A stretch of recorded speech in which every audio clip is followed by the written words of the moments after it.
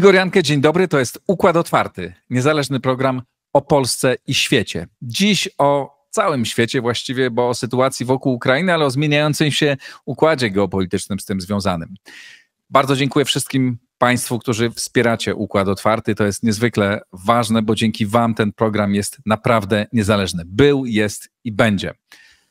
Bardzo dziękuję mecenasom, patronom. Kto z Państwa chciałby dołączyć do tego grona, zapraszam bądź na mój profil w serwisie patronite.pl albo do bezpośredniego kontaktu. A teraz już łączę się z moim gościem. A oto mecenasi Układu Otwartego. OnGeo.pl Geoportal dostarczający raport o terenie z diagnozą dowolnej działki dla właścicieli, sprzedających lub kupujących. E2V firma, która zajmuje się sprzedażą zielonej energii w standardzie ESG.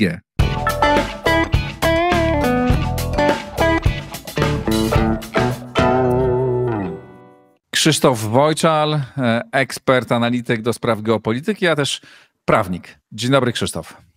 Cześć, witam Cię, witam Państwa serdecznie. Zacznijmy od tego, jak się zmieniła sytuacja wokół Ukrainy. Nie pytam o samą sytuację na froncie, czy sytuację militarną, ale sytuację polityczną wokół Ukrainy. No tak, tutaj była bardzo duża dynamika w ostatnich miesiącach.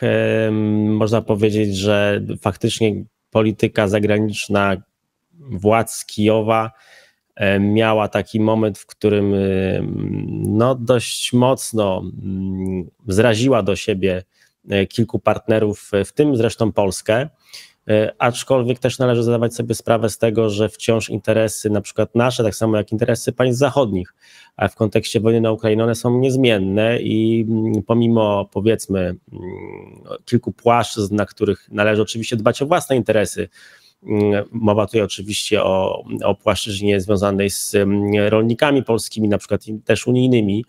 E, jednak ta płaszczyzna geostrategiczna związana z bezpieczeństwem, no ona, ona wciąż musi być realizowana tak jak dotychczas, czyli powinniśmy wspierać ten kraj. Wydaje mi się, że jest tego świadomość pełna na Zachodzie, jest tego świadomość e, dość spora w Polsce e, i władze z Ukrainy też trochę spuściły stonu, że tak powiem, jeśli chodzi o te mniej istotne z punktu widzenia bezpieczeństwa tematy, no a oczywiście istotne z, innych, z innego punktu widzenia, na przykład gospodarczego. Natomiast, natomiast widać, że ta dynamika była ostatnio spora.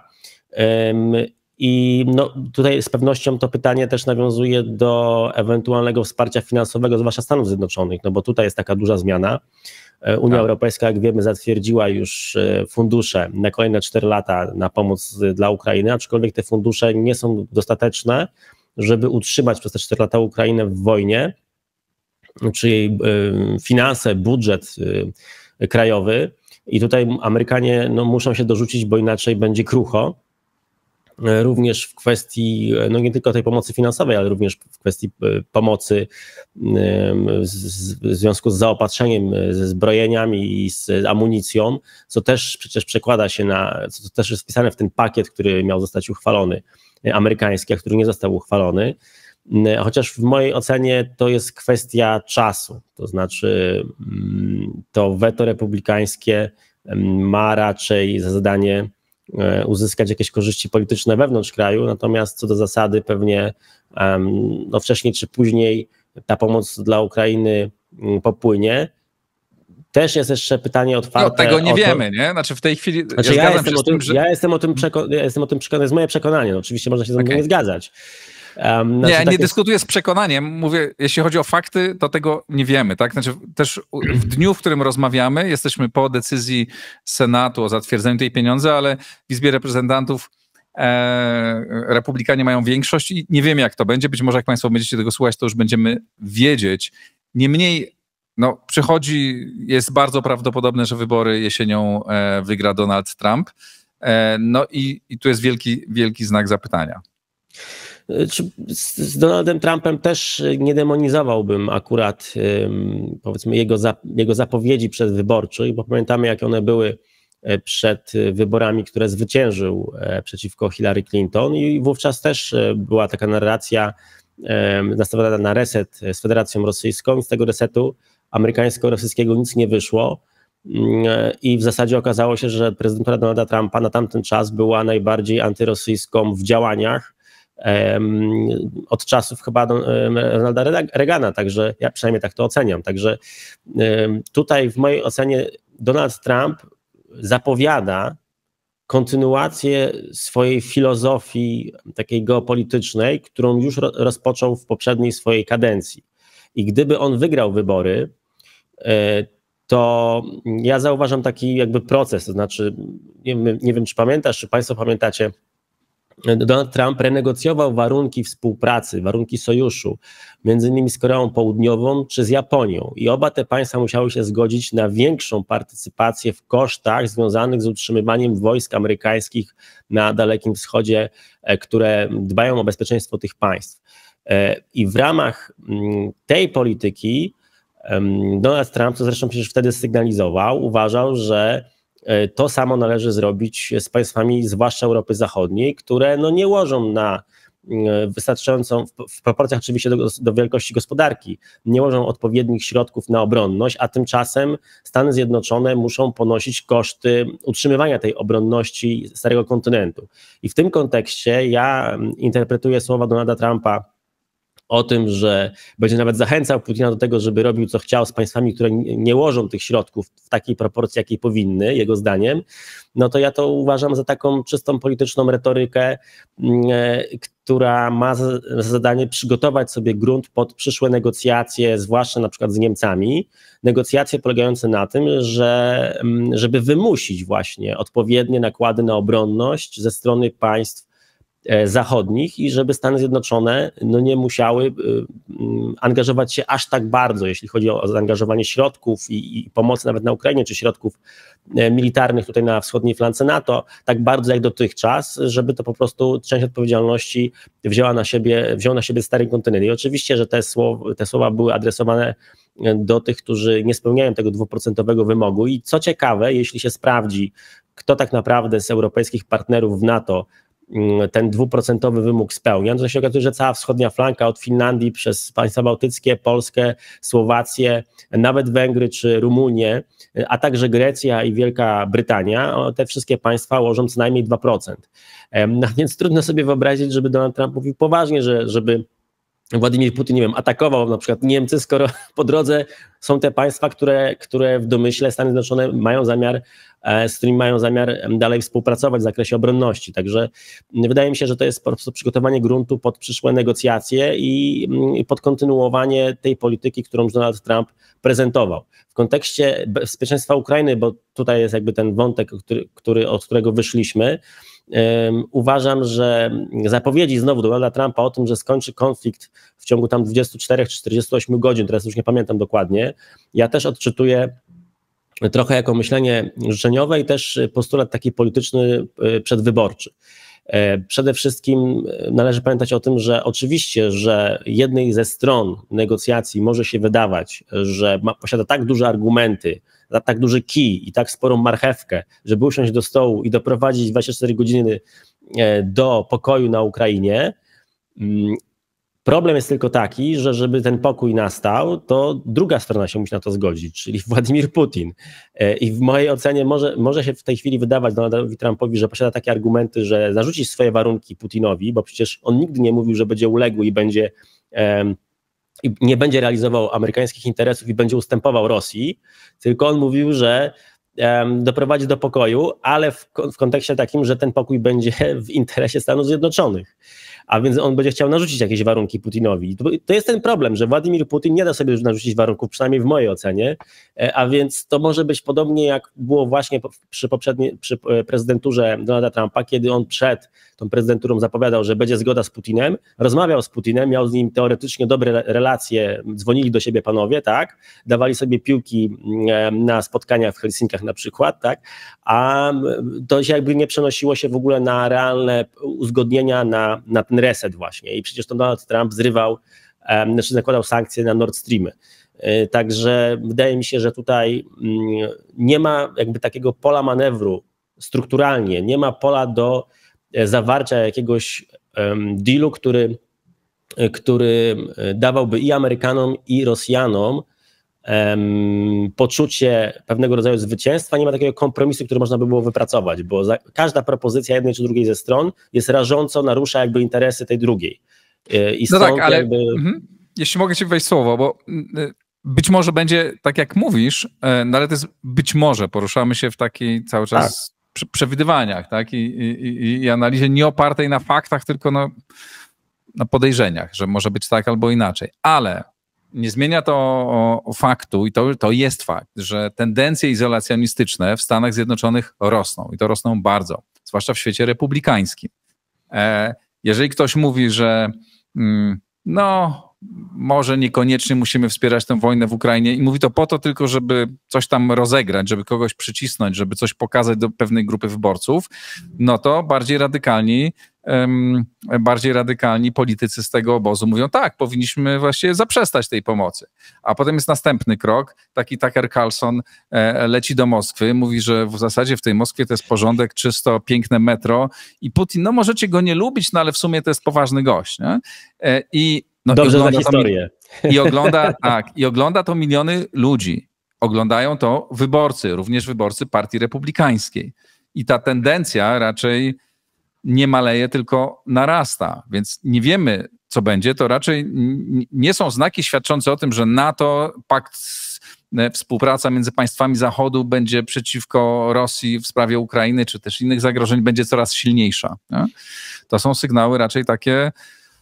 No, budzące no duże tak, no, wątpliwości. No, oczywiście, że tak. I tutaj no, jakby rzeczywistość jest jaka jest, jakby też y, kwestia tej interpretacji, no to jest jednostronna. Wygląda to tak, tak, jak ty opisałeś, tak? Że tendencja jest z tą stroną, ona jest widoczna i wypowiedzi są mm, wyraźne polityków y, amerykańskich, aczkolwiek tak jak mówię, no ja staram się, to w moja interpretacja jest taka, żeby tutaj nie panikować i, i poczekać na to, co będzie, bo nie uważam, żeby w interesie nawet republikanów jako partii politycznej, czy Donalda Trumpa jako ewentualnego przyszłego prezydenta było to, żeby dokonywać tak radykalnych zmian. Bo to też e, będzie się później przekładało na, na, na głosy wyborcze, aczkolwiek fakt, fakt, że społeczeństwo amerykańskie no to jest związane z, z gospodarką amerykańską i z problemami gospodarki amerykańskiej, gdzie to rozwarstwienie E, wewnątrz kraju, jeśli chodzi o majątek i zarobki, no, narasta z roku na rok i jest no, fatalny. Jest, to jest fatalny wskaźnik, jeśli chodzi o gospodarkę amerykańską. Oni wyglądają mniej więcej tak jak, jak państwa autorytarne. Tak można to porównać na tej płaszczyźnie. E, niestety, także ten kapitalizm gdzieś tam zaszedł w, ślepą, w ślepy zaułek i to się odbija później na na wyborcach i na ich postrzeganiu tej rzeczywistości i tego, i na ich ambicjach przede wszystkim związanych z polityką międzynarodową prowadzoną przez władze z Waszyngtonu. Tylko ja też zwracam uwagę też na taki fakt, że politycy, również amerykańscy, a może zwłaszcza amerykańscy, mm, muszą też liczyć się z takim jednym faktorem dotyczącym społeczeństwa amerykańskiego, a ten faktor jest generowany przez kulturę amerykańską, filmy, no ca cały ten przemysł też prasowo-medialny, gdzie Amerykanie zawsze wygrywają i jeśli ktoś rzuca wyzwanie Amerykanom, to oni muszą to muszą wygrać, więc w mojej ocenie, znaczy to jest taki mechanizm jak oczywiście psychologiczny, społeczny, no on również przekłada się na płaszczyznę geopolityczną, to znaczy taką, że Amerykanie nie mogą sobie pozwolić na pokazanie słabości na arenie międzynarodowej. A już to zrobili, z Afganistanu wycofali się i to w sposób super kompromitujący. Ale zobacz, że to sposób był kompromitujący, a nie fakt, bo wycofanie się wojsk z Afganistanu odbyło się tuż przed tym, jak Putin za, zaatakował na Ukrainę. A więc z takiego geopolitycznego punktu widzenia to był ostatni moment, żeby się wycofać, żeby mieć wolne ręce w razie czego, żeby się zaangażować w obronę Ukrainy. Tak więc y, wyobraźmy sobie, że w tej chwili jeszcze są w Afganistanie Amerykanie, na przykład talibowie tam wstrzymają powiedzmy bunt jak w roku 2009 bodaj i trzeba tam wysłać 200 tysięcy żołnierzy amerykańskich. No na to Amerykanie w sytuacji, kiedy był, była, byłaby już inwazja odpalona na Ukrainę, to byłby olbrzymi problem. Także oni się no, jeszcze problem momencie. z Chinami rosnący. No a oczywiście tutaj jest jeszcze ten problem z Chinami. Także, e, także ja, e, ja, myślę, że ja myślę, że te elity amerykańskie jednak sobie nie mogą pozwolić na to, żeby odpuścić Ukrainę z wielu różnych przyczyn, również między innymi z tego, że zaangażowanie dotychczasowe było tak duże, że odpuszczenie Ukrainy byłoby po prostu porażką byłoby uznawane jako porażka. Przez, nie tylko przez te konkurencyjne reżimy autorytarne, ale również przez ewentualnych sojuszników na Dalekim Wschodzie, co mogłoby się później przełożyć na trwałość sojuszy amerykańskich, tam gdzie Donald Trump chciałby rywalizować, czyli właśnie na Dalekim Wschodzie przeciwko Chinom. Także to wszystko się ze sobą łączy. I i mm, no, wydaje mi się, że wydaje mi się, że ja tutaj póki co śpię w tym zakresie spokojnie, aczkolwiek wiem, że wiem, że sygnały są niepokojące. Ja się bardziej martwię e, o tym w zakresie tego procesu, takiego właśnie izolacjonizmu amerykańskiego, bo to będzie narastać. Ja się martwię, że to będzie miało wpływ na to, co się stanie z, z NATO i z Zachodem i ze Stanami Zjednoczonymi, po tym, jak rozstrzygnie się rywalizacja tutaj z Rosjanami. To znaczy, jeśli zabraknie tego czynnika, który bezpośrednio tutaj zagraża amerykańskim interesom, tak? Mamy tutaj wojnę, która też trochę mobilizuje jednak. No to gdy ta wojna się skończy, powiedzmy, jakimś pokojem, który będzie na przykład niekorzystny dla Rosji i Amerykanie uznają, że zagrożenie minęło tutaj, tak, przynajmniej na teatrze europejskim, to oni wówczas się stąd wycofają w mojej ocenie, bo z, właśnie z uwagi na postępujący izolacjonizm, na, na postępujące problemy wewnętrzne yy, i na fakt, że jednak będą chcieli ograniczać koszty zaangażowania zewnętrznego. Tylko w mojej ocenie właśnie póki jest to wyzwanie, póki Rosjanie to wyzwanie rzucają, póty Amerykanie nie mogą po prostu odpuścić politycy i opinia publiczna Europy Zachodniej nie jest tak optymistyczna i tam jest e, panika. E, no wiadomo, niechęć naturalna do, o, do Trumpa, e, no ale to jest fakt. I oni kalkulują, że to może się stać. I pytanie jest takie, czy to paradoksalnie nie może sprawić czegoś dobrego. To znaczy, że Zachód rzeczywiście, chcąc odwrócić się od Trumpa i pokazać w zasadzie Ameryka nie jest nam potrzebna, rzeczywiście zacznie się e, zbroić. Czy twoim zdaniem takie to jest realne? No bo pierwsze sygnały na razie na poziomie retorycznym ale są. No, e, kanclerz Scholz zadecydował, ogłosił, tak, że e, przyspieszą jednak wydawanie pieniędzy.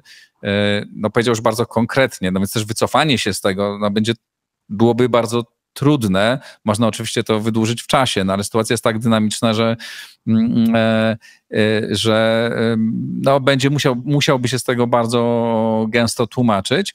Pytanie, czy rzeczywiście e, nie jest tak, że paradoksalnie skutkiem tego strachu przed Trumpem będzie to, że państwa Europy Zachodniej zaczną wydawać znacznie więcej na obronę, no bo w sferze retorycznej to i Emmanuel Macron, i, i, i kanclerz Scholz jakby zaostrzyli bardzo o, się e, swoją relację wobec, e, wobec Putina i, i, i wojny na Ukrainie.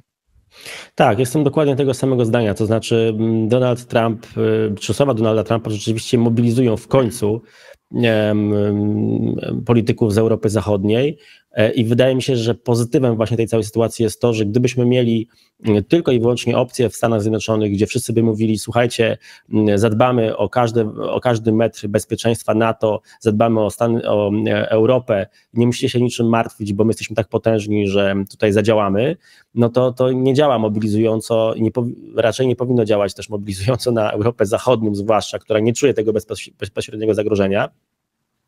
E, a z drugiej strony, właśnie to, co powiedziałeś, e, słowa Trumpa pokazują, że jest takie ryzyko, że e, no niekoniecznie ten artykuł 5 może zadziałać i trzeba jednak myśleć o własnym bezpieczeństwie i to faktycznie może bardzo mocno mobilizować. Zobaczymy na jak długo to będzie mobilizowało. Ja uważam, że, że Francja raczej jest bardziej nastawiona na, na, takie już konsekwentnie od jakiegoś czasu działa na, na, rzecz tego, żeby faktycznie podnieść tą obronność. Niemcy działają w sposób opieszały, to znaczy jest narracja i to przecież ta narracja nie, nie mówiłeś o ostatnim zapowiedzi, ale przecież tych zapowiedzi o, tej, o tym wzmacnianiu sił zbrojnych niemieckich, no to już było i rok temu, i dwa lata temu, y, y, no i cały czas tego nie widzimy, także zobaczymy jak Ale to... znawcy niemieckiej polityki mówią, że ten okręt zmienia, niemiecki okręt zwykle zmienia kurs bardzo powoli i ta machina to nie jest ślizgacz, prawda? Taki trochę jak my jesteśmy takim ślizgaczem, że możemy szybko w sposób mniej lub bardziej szalony podejmować decyzje,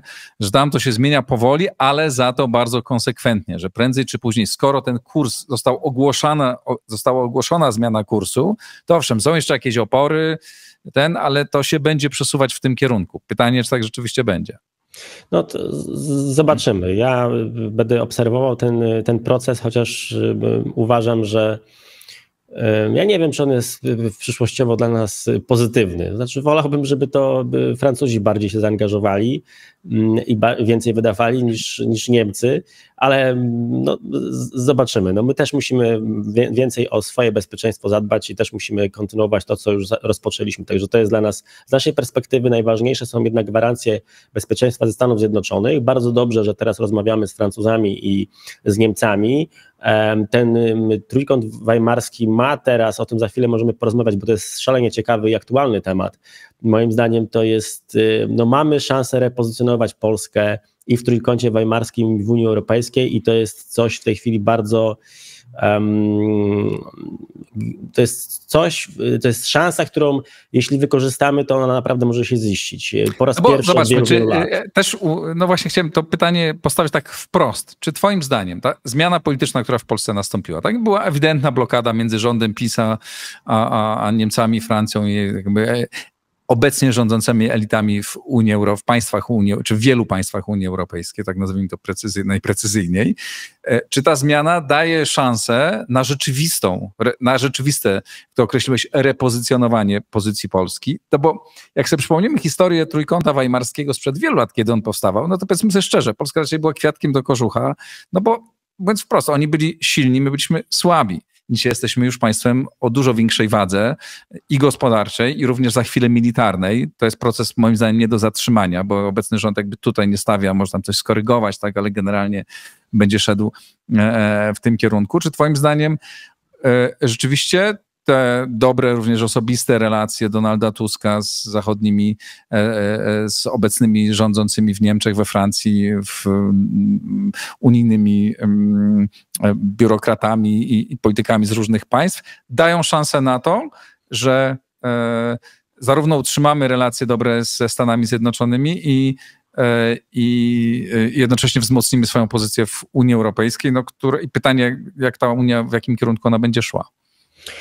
Mm, tak, zadałeś pytanie trochę od tej skali naszej wewnętrznej, powiedzmy politycznej, czyli, czyli bardziej mikro, no to będziemy, może ja faktycznie będę się wspinał do góry, do skali makro, chociaż chciałem odwrotnie, ale zacznę od, tej nas, od naszego podwórka. To znaczy, uważam, że paradoksalnie nastąpiła pewnego rodzaju synergia między rządami PiSu a rządami obecnymi, ponieważ sytuacja była taka, jak to określiłeś, ja też tak to oceniam, że w trójkącie weimarskim e, my byliśmy, jakby ten trójkąt był taki trochę obrócony, były, były Francja i Niemcy, my byliśmy tam troszeczkę na dole, tak, i informowano nas o pewnych ruchach, ale on nie służył na przykład do zatrzym- nie pomógł w zatrzymaniu Nord Streamu na przykład, tak, takiej inicjatywy, czy nie pomógł w forsowaniu tego pomysłu o wspólnej energetyce, o wspólnej polityce energetycznej. E, tutaj nic nam to nie pomogło. I rzeczywiście, między innymi dlatego, że Polska miała zupełnie inną pozycję, i o tym za chwilkę chciałbym też powiedzieć szerzej, jak było wówczas, a jak jest teraz. No ale mm, w kontekście już takim czysto politycznym, faktycznie później mieliśmy takie 8 lat, gdzie Polska budowała taką pozycję państwa mm, nastawionego w kontrze do Berlina, do Brukseli, e, bardzo starającego się pokazywać swoją asertywną postawę e, i państwa, które dowozi projekty pomimo czasami presji z zachodu. Takim przykładem jest, może Baltic Pipe powstał może bez jakiejś wielkiej presji z zachodu, ale na przykład jeśli weźmiemy pod uwagę mm, temat tego ogrodzenia y, i w ogóle zachowania się polskich władz w kontekście kryzysu na granicy z Białorusią, no to była presja rzeczywiście odczuwalna i my po prostu ten projekt dowieźliśmy i się okazało, że to były działania hybrydowe, że to były działania hybrydowe przed konfliktem zbrojnym, E, na Ukrainie i jakby tutaj potrafiliśmy zadziałać jakby samodzielnie, pomimo jakiejś presji z zewnątrz. I teraz przez 8 lat mieliśmy budowaną w, ta, w, taki sposób narrację, w taki sposób pozycję Polski, gdzie państwa europejskie e, dostrzegały ten fakt, że jesteśmy w stanie działać w miarę samodzielnie i jesteśmy w stanie jakby tutaj stawiać w pewnych tematach, powiedzmy, być w kontrze. I teraz Problem był taki, że ten poprzedni rząd, tak jak powiedziałeś, no on nie był sam w stanie wygenerować z siebie takiej, takiego rodzaju postawy, gdzie wyciągnęliby rękę, tak, i, i, i z drugiej strony nie było tego zaufania do tego rządu, że to wyciągnięcie ręki byłoby szczere, więc nie było szans na taki reset relacji. Zresztą ta narracja z poprzedniego rządu polityczna wewnątrz Polski, ona też była nastawiona w kontrze do, do, do Brukseli czy do Niemiec, więc no, tutaj się politycznie nie mogło udać. I co ciekawe, teraz mamy nowe otwarcie, nowy rząd i on w zasadzie jest pro, prounijny, prawda, pro, mm, pro niemiecki, można powiedzieć, ma te, ma te dobre relacje otwarte, i z drugiej strony ma pozycję negocjacyjną, którą zbudował PiS. Bo, bo ten obecny rząd, gdyby rządził te ostatnie 8 lat, prawdopodobnie w mojej ocenie, to jest moja opinia, nie zbudowałby sobie takiej pozytywnej, e, znaczy takiej asertywnej postawy, czy takiego wizerunku asertywności Polski, w związku z czym dzisiaj, dzisiaj być może no, nie mógłby startować z takiego wysokiego C, jak, jak teraz może. A teraz może jakby pojawiać się taki prosty argument, to znaczy z każdych negocjacji Polska musi wyjść z czymś konkretnym na stole, z jakąś konkretną korzyścią, bo jeśli nie wyjdzie, to znaczy, że za chwilę E, poparcie dla obecnego rządu polskiego spadnie i będzie rządzić ten antyunijny. I to jest taki, moim zdaniem, takie narzędzie polityczne, taki młotek na, na partnerów zachodnich, którym można za każdym razem zbijać każdy argument. To znaczy, słuchajcie, no, no musimy coś, coś wynieść z tego stołu, bo będziecie mieli tutaj znowu, znowu w kontrze jakiś rząd, który będzie wam wszystko stopował. Także to jest moim zdaniem takie fajne narzędzie na, na płaszczyźnie politycznej. E, którym można się posługiwać, ale tak naprawdę sytuacja w ogóle Polski jest zupełnie inna na wszystkich płaszczyznach niż była w 2000, do 2013 roku. Znaczy, ja uważam, że w tej chwili jest czas na to, żeby zrobić format takiego nowego trójkąta weimarskiego. Oczywiście to może być cały czas ten sam format trójkąta i powiedzmy odnowiony, e, jeśli chodzi o nazewnictwo, ale możemy się zupełnie inaczej repozycjonować i z bardzo wielu przyczyn. To znaczy w 2000, w tym starym trójkącie weimarskim, nazwijmy to w ten sposób, czyli do 2013 roku, kiedy nie było jeszcze wojny, bo ona bardzo dużo zmieniła, prawda? Stany Zjednoczone chciały wyjść z Europy.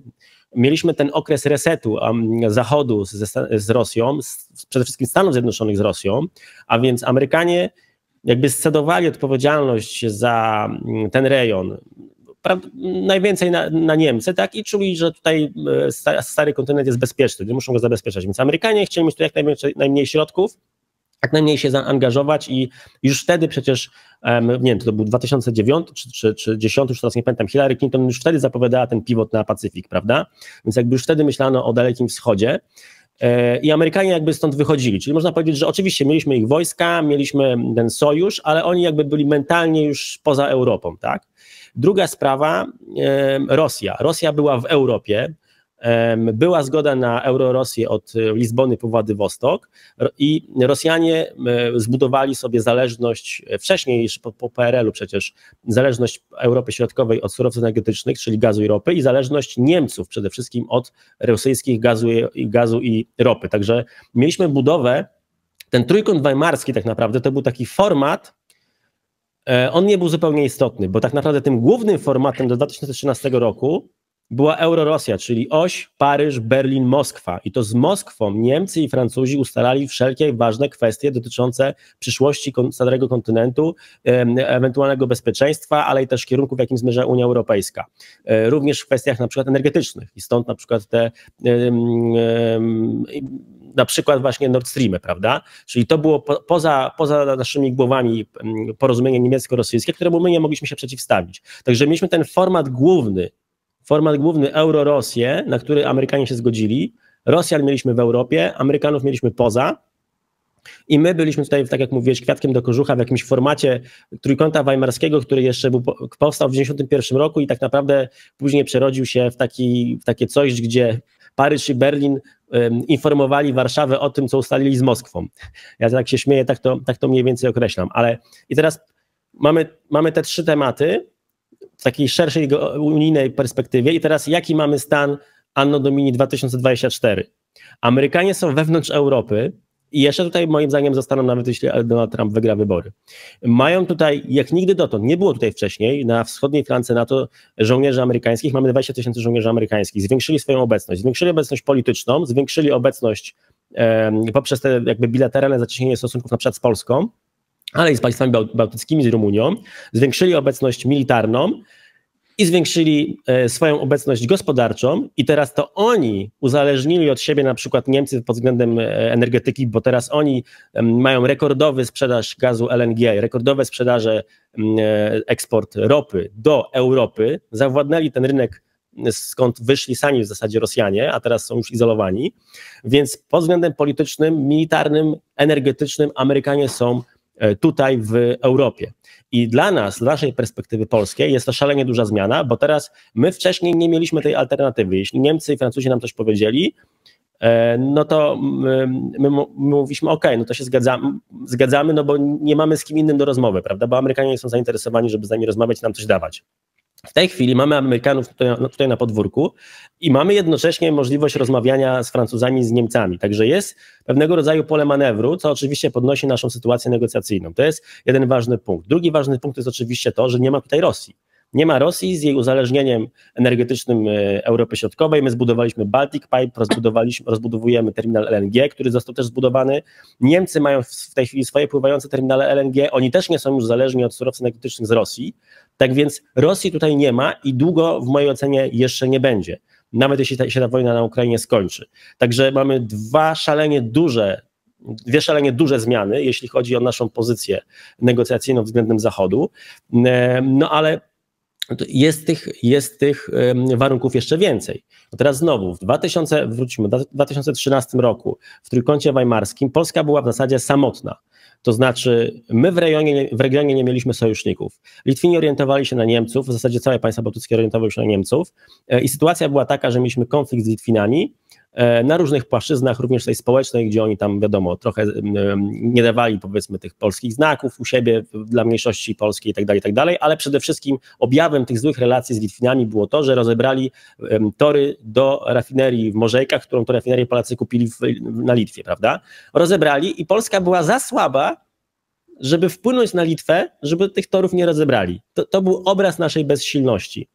Dzisiaj nasze relacje z państwami bałtyckimi są kompletnie inne. Dokładnie, bo atak y, rosyjski na Ukrainę uświadomił Bałtów, a nie tylko ich, że bezpieczeństwo jest najważniejsze, a nie da się obronić militarnie Bałtów bez naszego udziału, bez naszej pomocy.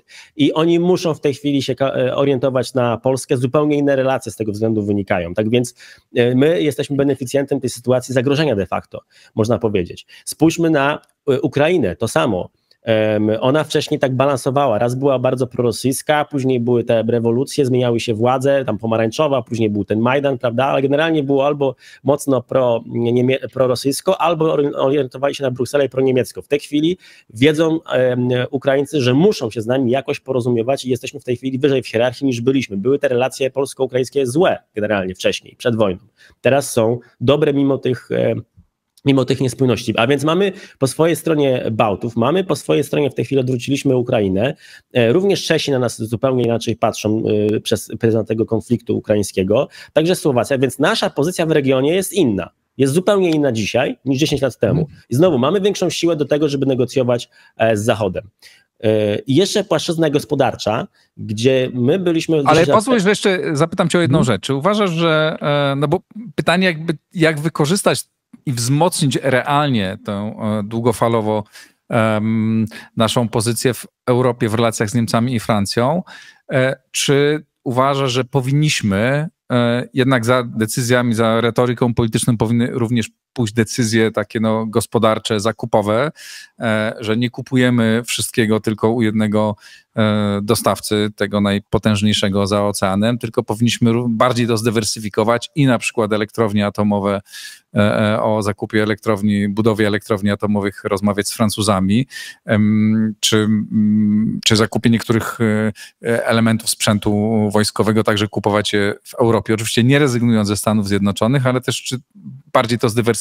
Czy Twoim zdaniem to jest coś, co powinniśmy teraz robić? Znaczy, moim zdaniem nic na siłę, to znaczy, jeśli ta dywersyfikacja nie byłaby korzystna, no to nie ma co, nie ma co, no, ale jeśli na przykład Francuzi zaproponują fajny układ z atomem, no to czemu druga elektrownia atomowa nie miałaby być francuska? Moim zdaniem jak najbardziej mogłaby być.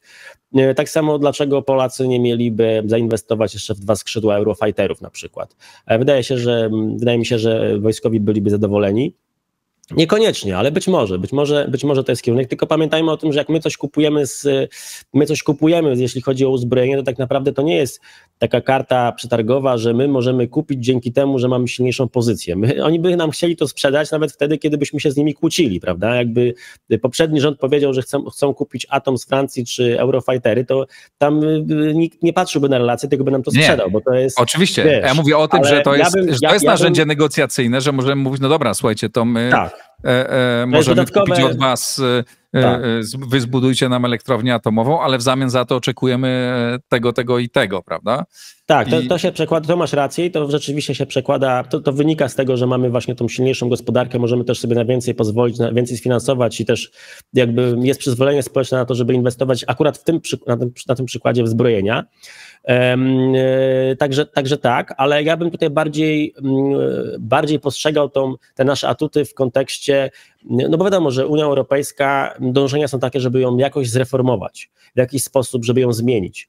E, I te nasze atuty, które można powiedzmy umieścić w tym formacie trójkąta, trójkąta weimarskiego, ale również w ogóle szerzej w Unii Europejskiej, moim zdaniem powinniśmy prze, prze, przełożyć przede wszystkim na te E, na te polityczne koncesje, czyli mm, w negocjacjach na, te, na temat tych reform e, przyjąć silniejszą pozycję i zadbać lepiej o nasze interesy i być może zmienić kierunek tych reform, czy zmodyfikować go w taki sposób, żeby był korzystniejszy dla Polski. Wydaje mi się, że to jest ta płaszczyzna, na której, na której, w której mógłby ten, ten format nam pomóc. No, no i te nasze atuty oczywiście, no bo jeśli chodzi o też o gospodarkę, bo te, teraz spójrzmy też na to z tej strony, to znaczy e, co się jeszcze zmieniło przez te 10 czy tam 12 lat?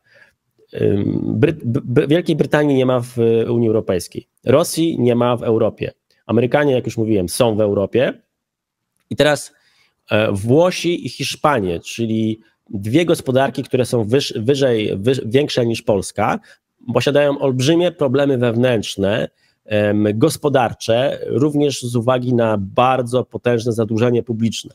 I te państwa są w zasadzie taką kulą u nogi na przykład dla, dla Niemców, którzy czują, że muszą finansować ten dług albo że będą zmuszani finansować ten dług w jakiś sposób w przyszłości. A więc kto może być partnerem do narzucania tonu w Europie dla Francji i dla Niemiec? E, no, piątym w kolejności państwem jest Polska właśnie, tak?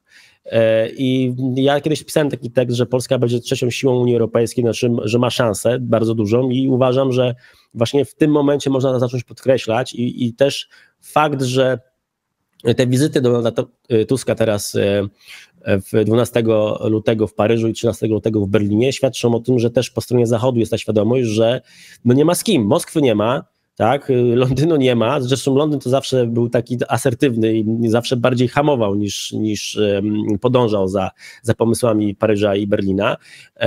Włosi to też jest rząd w tej chwili, tam włoski, prawda, że prawicowy to, tak jak mówiłem, Włosi i Hiszpania są teraz problemem e, gospodarczym, więc a z kimś trzeba jeszcze rozmawiać, bo same Francja i Niemcy to jest za mało, tak?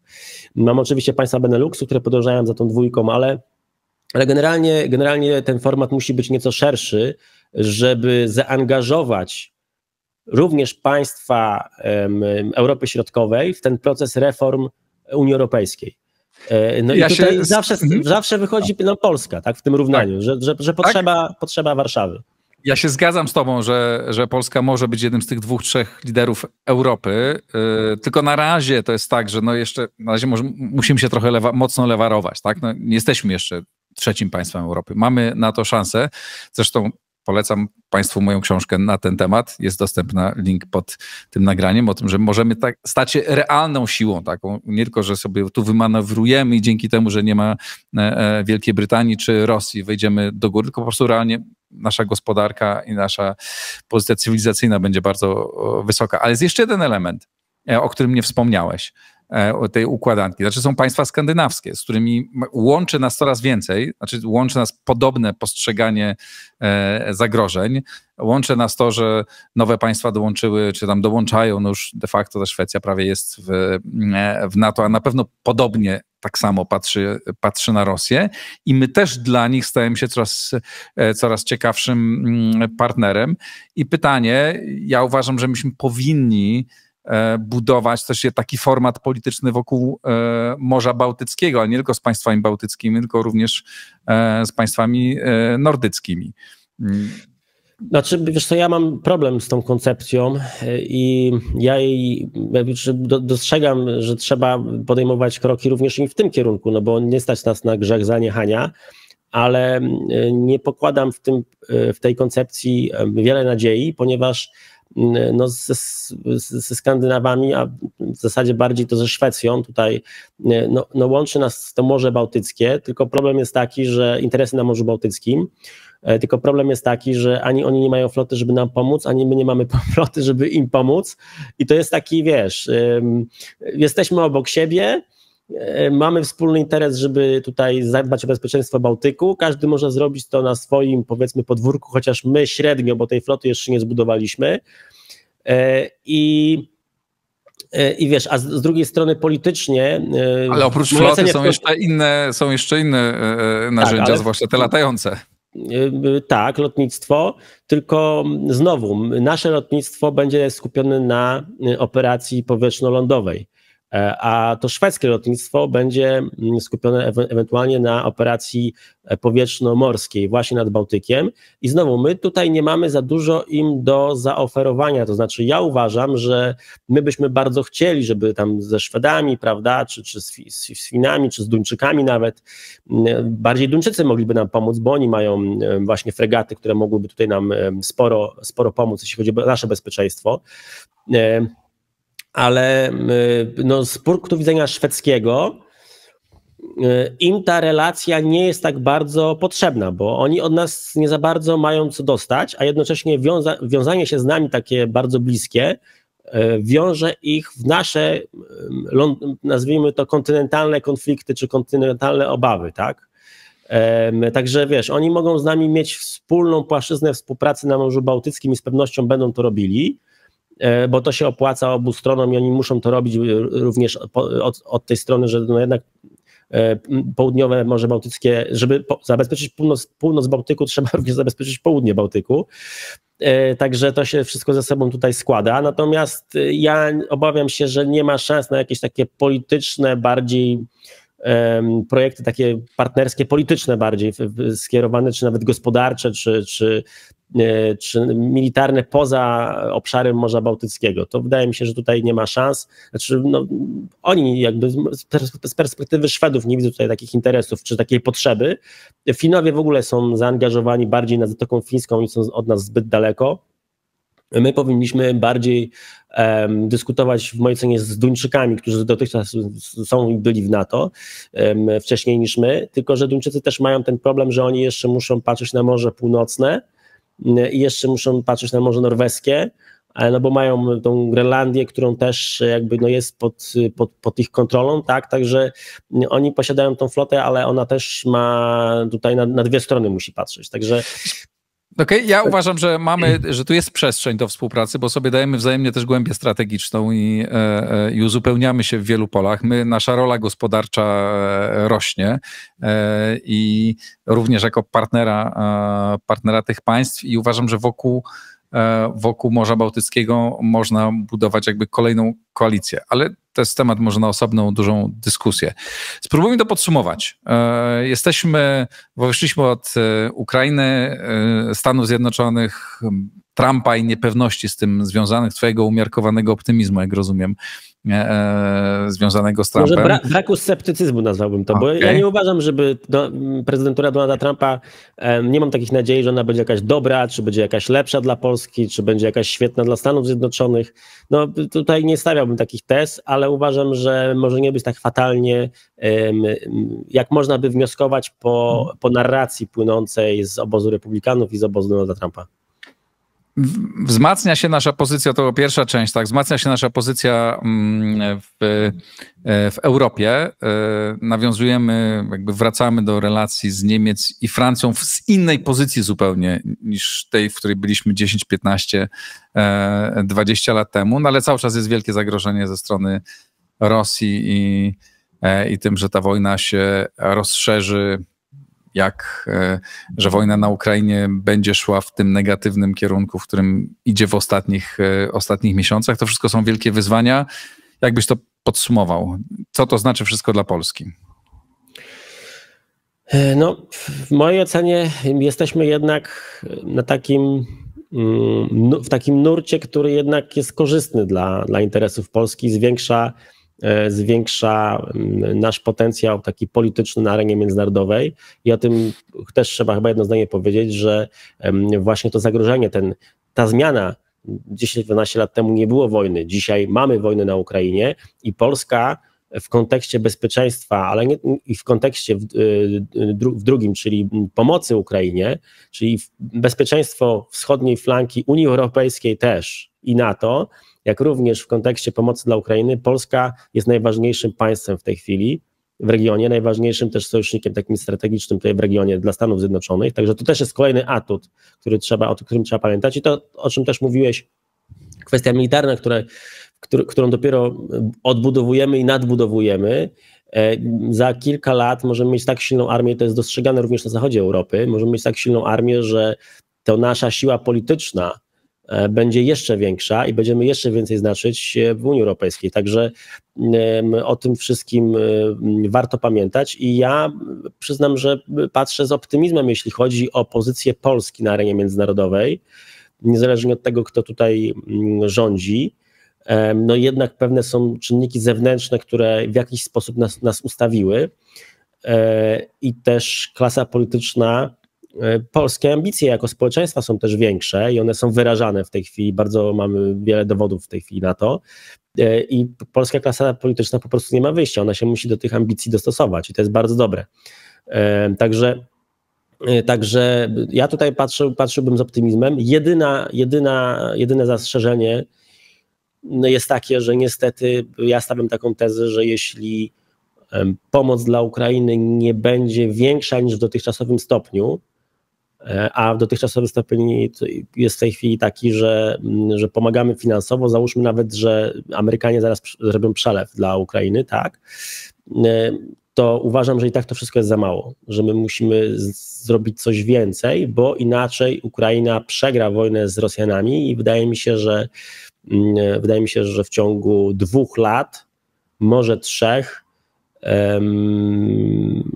Rosja będzie próbowała rozstrzygnąć ten konflikt znowu w wojnie manewrowej, otwierając nowe kierunki, znowu próbując zająć, zająć Kijów. E, I jeśli nie zrobimy więcej niż dzisiaj, to Ukraina przegra. A ja dodam, zgadzam i... się, zgadzam się z Tobą w tym absolutnie i myślę, że to nie jest żadna kontrowersyjna teza, a dodam od siebie to, że bardzo ważne jest również, oczywiście kluczowe jest to, co zrobią największe mocarstwa i największe państwa, i, bo tam są największe pieniądze, ale również te, ta fala drobnej pomocy w swojej masie osiąga znaczenie, o czym sam się wielokrotnie przekonałem, zawożąc samochody e, na Ukrainę, widząc jakie one, e, jakie, jakie to ma znaczenie, bo tych samochodów dostarczonych z Polski to już można naprawdę liczyć w setki, jeśli nie w tysiące. E, I to robi już, e, to naprawdę robi już różnicę. Ja mówię to dlatego, że e, od paru dni namawiam Państwa na zrzucanie się na samochód dla medyków ukraińskich, o którym mówiłem w rozmowie z generałem Skrzypczakiem. Ten link do, tego, do tej zrzutki jest pod nagraniem. Serdecznie Państwa do tego namawiam, włączając się jakby w tą opowieść o wielkiej geopolityce, małe cegiełki też mają znaczenie. Krzysztof, bardzo serdecznie Ci dziękuję. Ja również bardzo dziękuję za zaproszenie. E, dzięki serdeczne. To wszystko, e, to wszystko w tym odcinku. Krzysztof Wojczal, e, ekspert do spraw geopolityki, autor bloga, też swojego kanału na YouTubie, książek, był moim gościem. Dziękuję bardzo. E, wspierajcie Ukraińców. E, czytajcie, komentujcie. Bardzo ciekaw jestem Państwa komentarzy. Pozdrawiam serdecznie. Do zobaczenia. Do usłyszenia.